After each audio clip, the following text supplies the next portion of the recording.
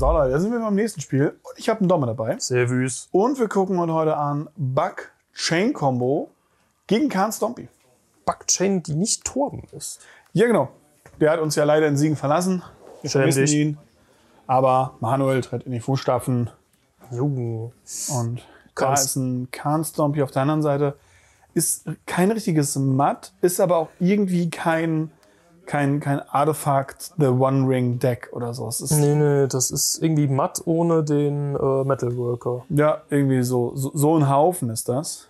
Da ist ein Chalice auf 1 und dann, dann Go? Hä? Hä? Hä? Spannend. Nur ein Land? Da ist noch ein Mox auf der Hand.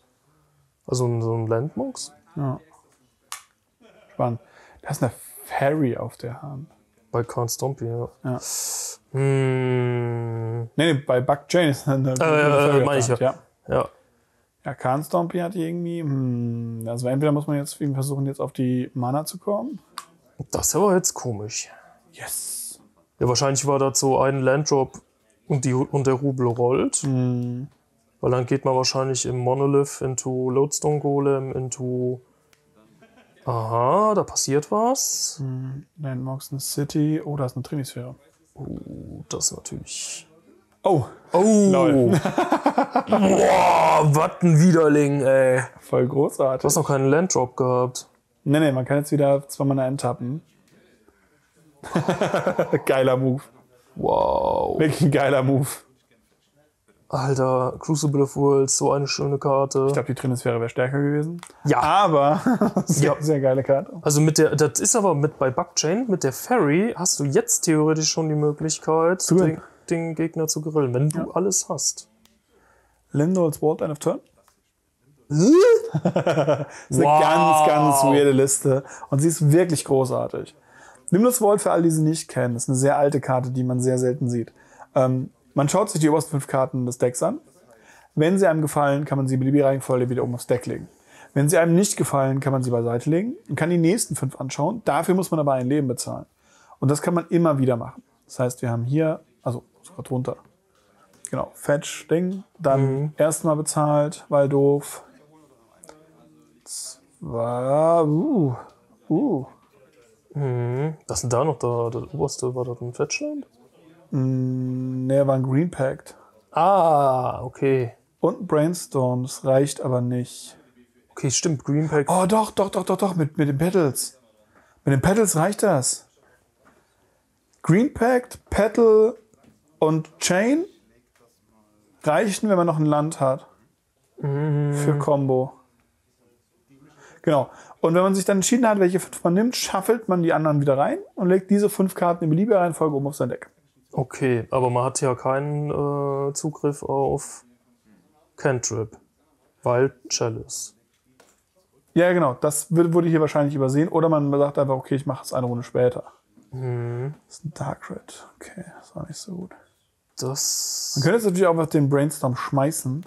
in der Hoffnung, dass man durchkommt. Ja. Ähm, da ist noch ein Land. Das heißt, theoretisch kann man jetzt, hat man jetzt den Pack, am besten den Pack auf der. Hand. Und kann dann den. Hier darf nur keine Trinisphäre jetzt kommen, oder? Das wäre bitter, oder? Ne, die wäre tödlich. Frage, ob man jetzt zwei Mana reinzieht, Kahn spielt. Und man hat ja auch den Kahn tatsächlich. Hm. Ja, man hat die vier Mana für den Kahn, dann hat man aber kein Follow-up. Das ist jetzt gerade wirklich die Frage, weil Buckchain muss jetzt quasi nur noch den Draw haben, dann hat er die Combo auf der Hand. Ja. Deswegen, also Trinisphäre wäre halt richtig gut. Da ist halt die Frage, ob Stompy weiß, wo, auch dabei. Ja, ja. Ist halt die Frage, ob Stompy jetzt weiß, wogegen es spielt. Das ist halt wirklich, also man hat vier Karten auf der Hand. Einer ist ein Kahn, einer ist ein Golem, einer ist ein Trinisphäre. Das sind alle gut. Mhm. Bei der Kahn am wenigsten Macht. Und der Kahn verliert das Spiel. Ja.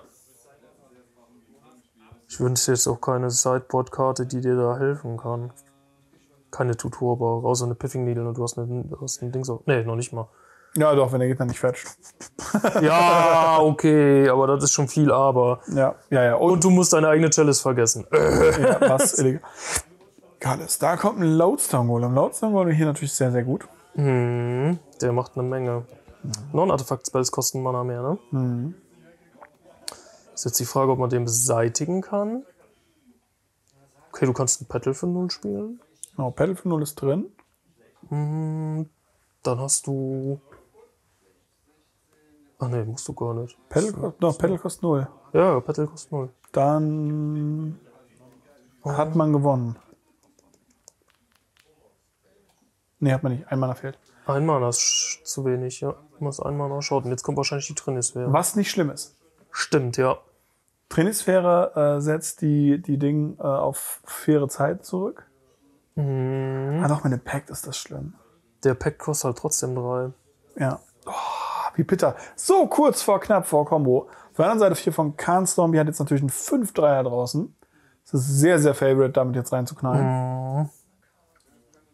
Da wird, Das ist so geil. Das ist so geil. dass der scheiß Crucible gerade einfach das, Ga das Game macht. Ja, plus du aufs Petal. Oh no. Oh no. Hast Oh, du mal no, 0 no, 0 no, gehabt? no, no. Nein! Ja, kann ich nicht aktivieren. Oder du kannst mit dem Crucible zuhauen. Ja. Hallo, sieben Schaden. Hast du eine Runde weniger?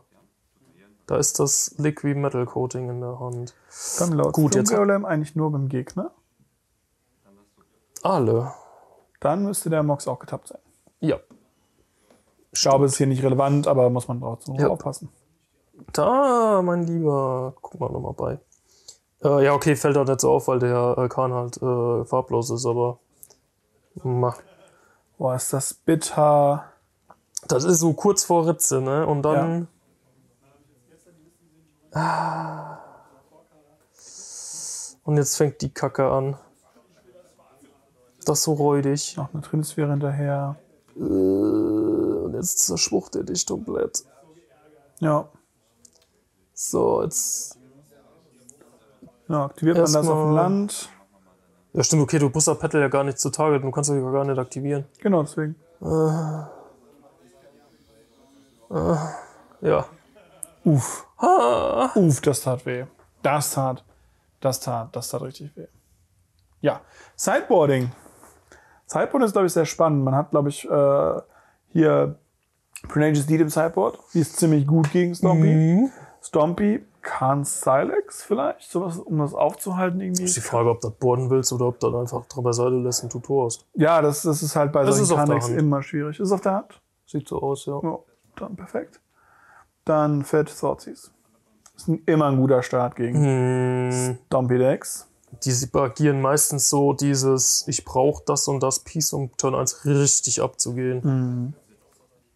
Ja, da ist das Skylex. Und da siehst du es halt, weil der braucht den Mox um Turn 1.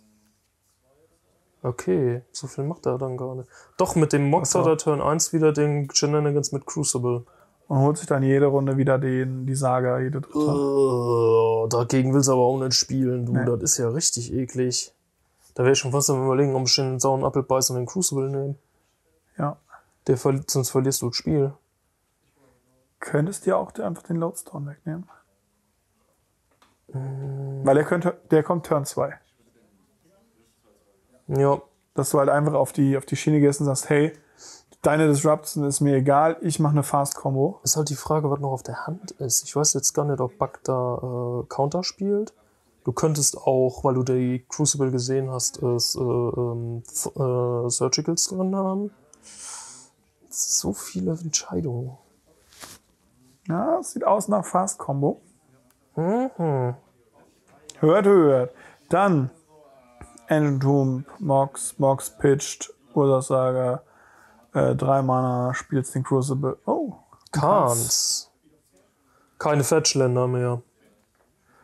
oh, Oh, fuck my life. oh, das ist gut. Das ist schwierig. Oh, das ist richtig gut. Kein Thoughtseize mehr.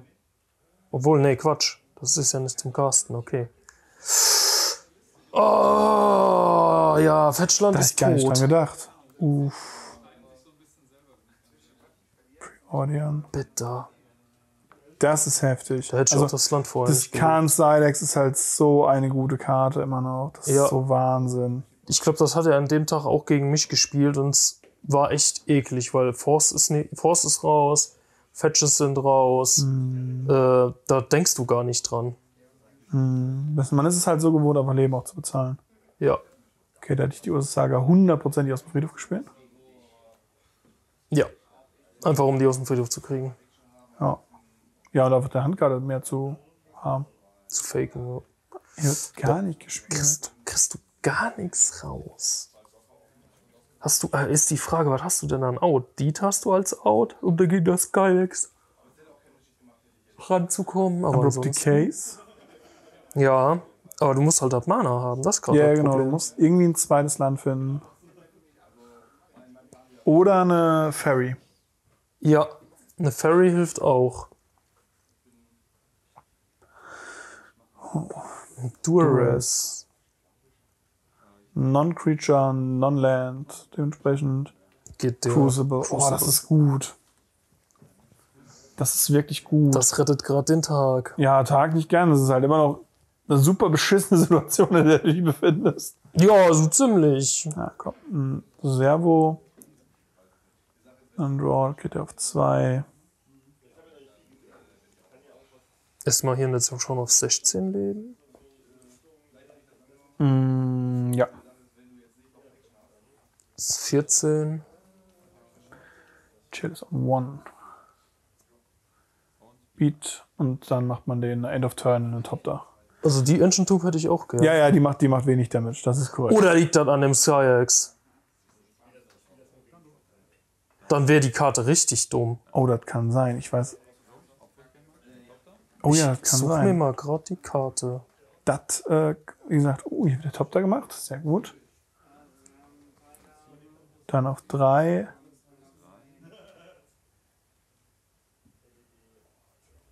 Und jetzt machen wir hier wahrscheinlich einen Top da.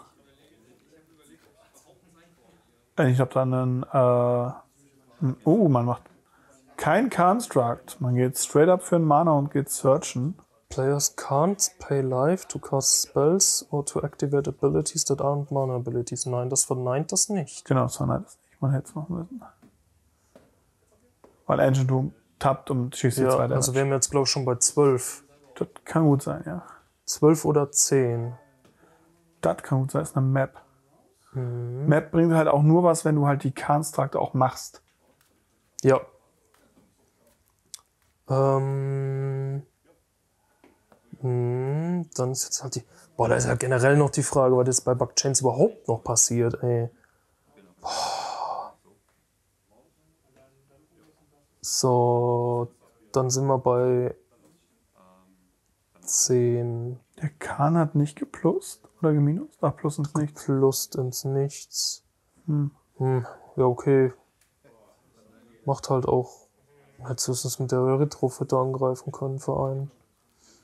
Ja, ich hätte da einfach schon das Ding gesucht. Ja, stimmt.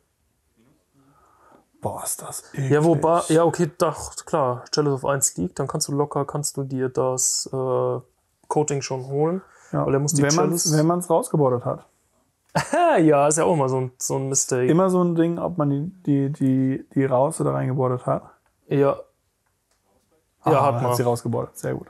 Ähm, Dann die dann, auf Angriff. ein. Man hat vergessen, den 4-4er draus zu machen. jupp, dann in der Dann du, kann ja, man dann bist du Upkeep. und das Ding ist ein Artefakt und tappt nicht mehr für Mana. Yay. Oh Junge, das ist sowas von rum. Das ist so widerlich. Das ist sowas von rum. Oh mein Gott. Ei, ei, ei. Also ich meine, der wäre jetzt irgendwie so auf 10 oder 8 Leben der Stompy-Spieler, von Das ist daher. aber so irrelevant tatsächlich, weil das Deck ja wirklich ein reines Combo-Deck ist. ja, Und ähm, man geht jetzt halt hin, macht End of Turn die Map, holt sich einen Ursas Saga, spielt die Ursas Saga nächste Runde, geht halt dann in den Beatdown-Plan rein. Da wird schon discarded. Da macht man jetzt den 4-4er. Ja. Ähm, dann die Map. Ah, jetzt wird auf einmal gedreht.